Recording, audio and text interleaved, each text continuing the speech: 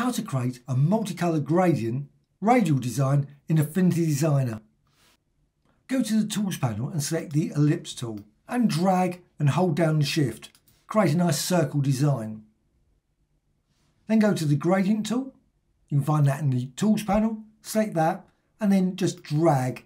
Now the colour you get will be different depending on the initial colours. And you can resize this, reposition it. However, I want up here to be radial. So radial, and you can reposition that so it's sort of in the center. Okay, got this design.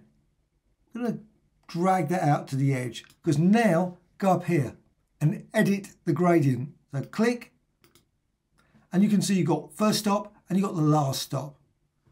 Select the first stop and you can click here, insert, and that will put a stop in the center.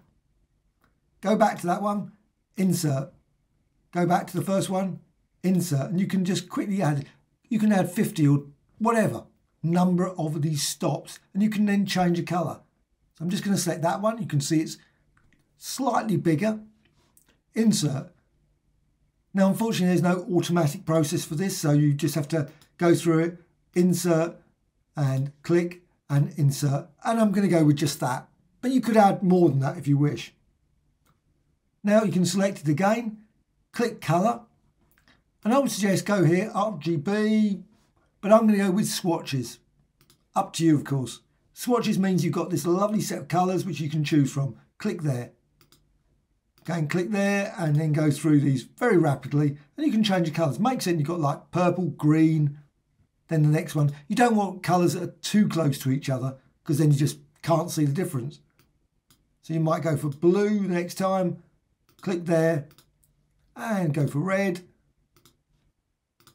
Again, unfortunately, it's not automatic process. So you just have to go through it, click each individually, and as soon as you do it, you'll notice it will slightly be a bit bigger. Now you might decide, you know what, let's just use some of these other ones. You've got a number of crayons as well. Use that, web safe colours, just as reasonable as well. Select some of those. Maybe go for black.